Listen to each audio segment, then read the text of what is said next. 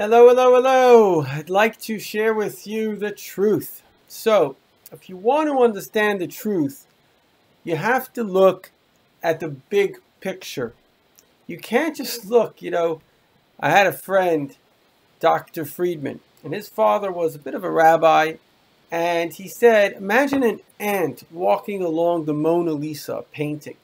The ant says, Oh, it's black, it's red, because whatever it sees, it sees this little dot and it thinks that's the truth. But if you want to understand the truth, you have to look at the whole picture. What does the whole picture tell us?